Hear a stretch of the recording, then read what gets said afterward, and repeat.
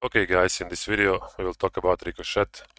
That's an auto rifle. So first I will read all this and then I will show you how it works in the real gameplay, right? So first Mysterium says up to three enemies can be tagged while aiming down sights.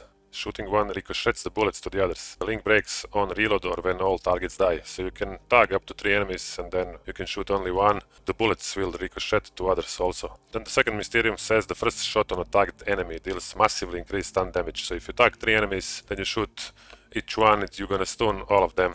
And uh, the last Mysterium says the powerful lightning each time an enemy is hit with 7 ricocheted bullets. So you just need to shoot and then every 7th ricochet bullet is gonna deal lightning damage, right? So I will show you now how all this works in the real gameplay. Now look at this, if I tag 3 of them, right, shoot just this guy, the bullets will still ricochet to others. So you can tag up to 3 enemies, you will see this above their heads now the enemies will ricochet, so you see now I killed all three of them. With just shooting into one guy, right? You just want to tag like this, tag the second one, and then tag the third one, and it doesn't matter where they are, look at this now, right? See? So you just deal damage to the other guy, no matter where he is. That's why this gun is so good.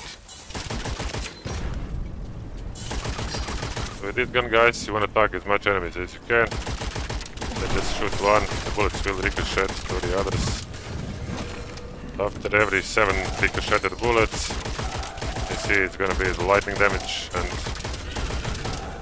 gun is very easy to use, there's not much to say about this gun, so just wanna tag them and just shoot into the tagged enemies guys. Just tag, tag, tag and shoot into tagged enemies, right? It will deal damage to up to 3 enemies.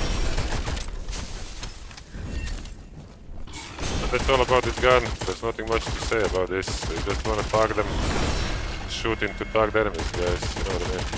So if you like this video, guys, consider liking, subscribing, and commenting, and join me in another Witchfire video where we're gonna do something else. Until then, bye, guys.